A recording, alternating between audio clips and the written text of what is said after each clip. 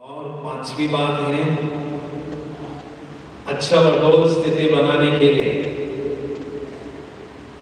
आत्मा की है, उन विकारों के अंश को जड़ से खत्म करना ज़रूरी है। वैसे का अभ्यास तो हम हर रोज करते हैं, फिर भी हमारे संस्कारों में परिवर्तन अनुभव नहीं है विकारों के जो अंश वंश है, वो समाप्त नहीं होते हैं। कभी कभी हमें आवेश आता है कभी कभी चिड़चिड़ापन आता है, कभी फीलिंग आता है। तो आत्मा में जो विकारों के अंश बाकी हैं, उनको खत्म करने के लिए शक्तिशाली योगाभ्यास करते रहना ज़रूरी है। शक्तिशाली योगाभ्यास से ही ये काम संभव है इसलिए जब भी हम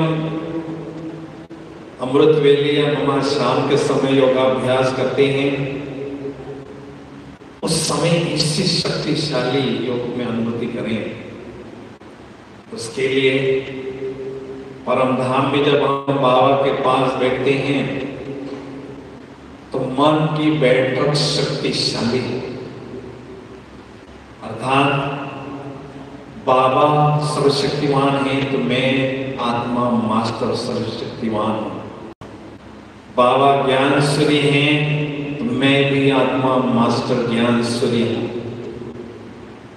ऐसे पावरफुल जब हम बैठते हैं तो बाबा जो स्पिरिचुअल पावर हाउस है, उनसे हम अथाह शक्तियाँ स्वयं में ग्रहण करने लगते हैं।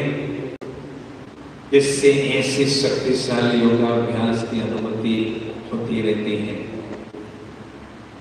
अगर हम साधारण रीति से बाबा के पास बैठते हैं तो साधारण स्थिति की ही अनुभूति होती है। इसलिए परम धाम में बाबा के पास बैठते समय शक्तिशाली स्थिति में ही बैठना है। तभी अमृत सागर बाप से शक्तियों का अमृत हम प्राशन कर सकते हैं। तो अक्षल अटोल स्थिति अगर आत्मा में विकारों के अंश होंगे तो स्थिति हलचल में आने की संभावना होगी।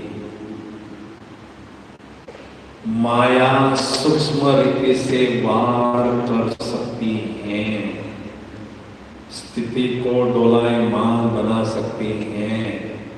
इसलिए हमें तो समाप्त करने का करना है। जब हमारी ऐसी अचल अटल स्थिति या एक स्थिति बन जाती है तो हमें बहुत बड़ा लाभ होता है। कौन सा लाभ होता है?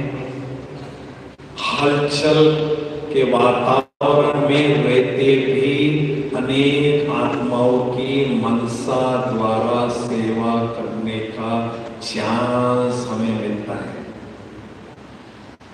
क्योंकि जैसे जैसे हम आगे बढ़ते जाएँगे, हलचल करने वाली बातें हमारे सामने आएगी। और आत्माएँ शांति और शक्ति की चाहना रखकर आपके पास आएँगी। तो आप अपने के द्वारा अनेक आत्माओं को शांति, शक्ति प्रदान करनी होगी। अनेक आत्माओं की सेवा करने का चांस आपको मिलेगा। और अविनाशी कमाई करने का गोल्डन सहारा समय मिलेगा